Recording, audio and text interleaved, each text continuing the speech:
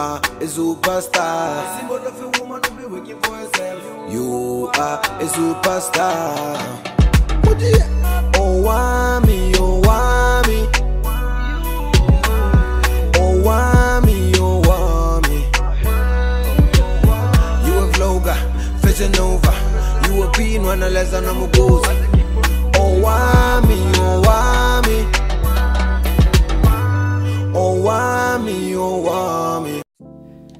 Hi ninjas, how are you guys doing? It's your girl OM Nishwazolo aka Miss Fair Focal. Now today, let's go ahead and continue with the updates from Mampintsha's funeral. Now of course last we spoke, you guys saw what was going on during the funeral service. However, when it came to the burial site, I did not see a live stream of that so we have all i feel like been looking at you know what can we get what can we see like what happened during the burial i did come across this clip and i thought i should share. And this is something that is very strange for me. I have never seen something like this. So you guys better watch this and i'll be back with the rest of my commentary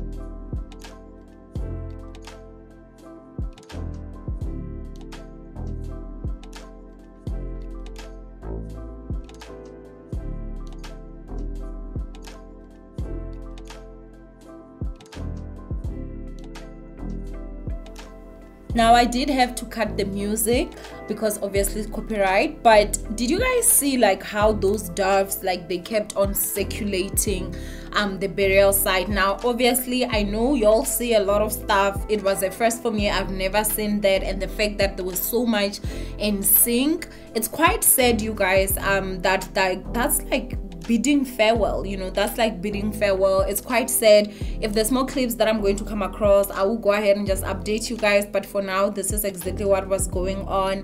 Um it's quite sad you guys. It honestly is quite sad. But yeah this is what i actually saw and i thought i should share.